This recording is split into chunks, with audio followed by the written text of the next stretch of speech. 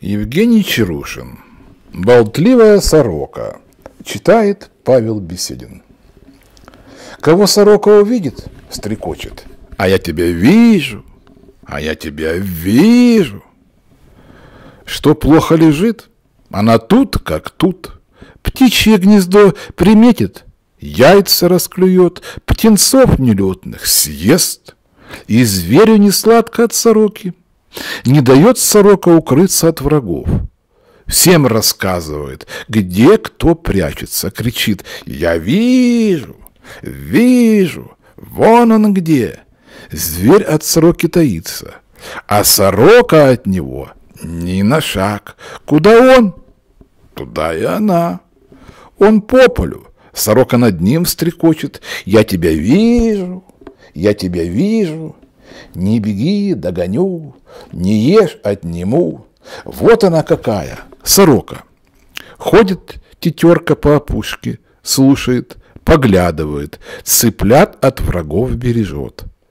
Ведь цыпленку каждый зверь враг. Сорока увидала цыплят, затаилась.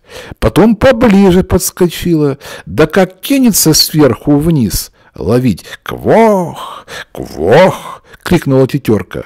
«Берегись! Враг!» Слетела сорока вниз, а ловить некого.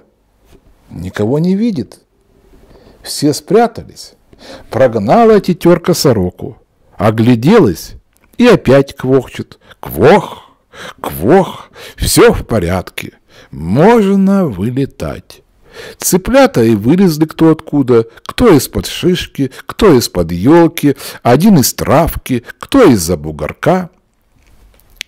Сидит медведица на полянке, порявкивает. Недовольна она, не слушают ее мишки. Балуются. Один по луже бьет лапами, брызги летят. Медвежонку это нравится. Другой на рябине качается, как на качелях. А сорока тут как тут и кричит «Вижу, вижу, вы что делаете?» Сразу медведица замолчала. Мишки испугались, глупые, а понимают. Пока рычала, ворчала медведица, никакого врага не было, можно было баловаться, а замолчала, значит, прятаться надо. Мишка из лужи, Мишка с рябинки и поскакали в чащу, где погуще, пока сорока от них не отвязалась. Волчатам еду волчица принесла, дичь словила. Каждый еду к себе потянул. Ворчат, рычат. А сорока сверху как закричит. Я вас вижу, отдай, я вижу, волки в рассыпную, кто куда. А волчица по чистому месту от сороки скачет, не таится. Сорока над ней стрекочет. «Вижу, вижу, ты куда?» Волчице только это и надо. Не понимает сорока, что волчица нарочно не прячется, от волчат ее отводит.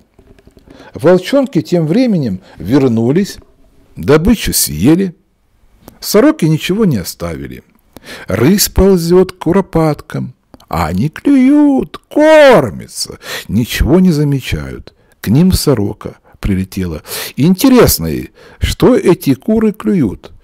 Шевельнулся кто-то в кустах.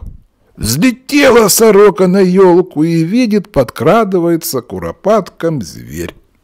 «Вижу, вижу, я тебя вижу, вон он где!» Куры услыхали, на крыло поднялись, рысь прыгнула, да так никого и не ухватила. Охотник Федор Федорович пошел лисят ловить. Он давно высмотрел лисью нору. Раскопает он нору и лисят переловит. Федор Федорович – заправский охотник, человек знающий. Только недолго он по лесу шел. Сорока увидела Федора Федоровича и давай всем рассказывать, покрикивать. Вон он идет, «Вижу его! Вон он, вижу!» В это время щенки лисии у норы играли. Кто кость грыз, кто боролся, кто на солнышке лежал.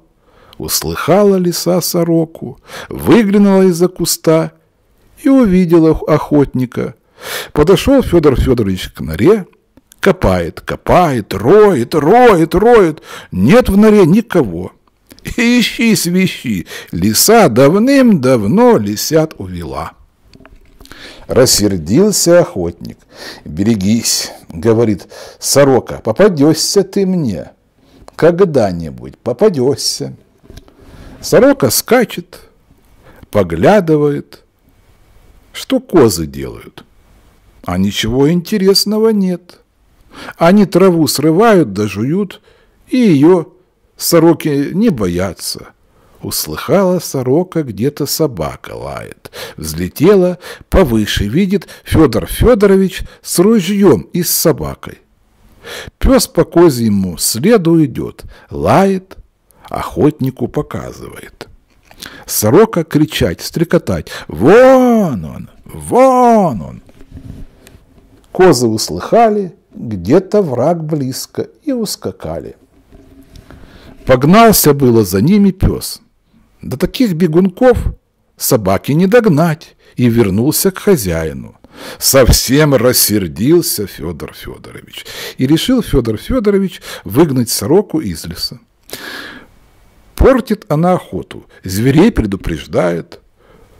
У его знакомого был филин. Федор Федорович этого филина привязал на опушке, а сам укрылся. Налетели птицы к филину. И чижи, и воробьи, и дрозды, и сойки, и сороки свистят, кричат, дразнят филина. А филин клювом щелкает, крылья развел, боится. Пальнул Федор Федорович по сороке, да не попал. А сорока испугалась и из тех мест улетела. Из норы вылез барсук, нашел сорочье перышко, понюхал его, пожевал, а, невкусно, и пошел охотиться, еду добывать.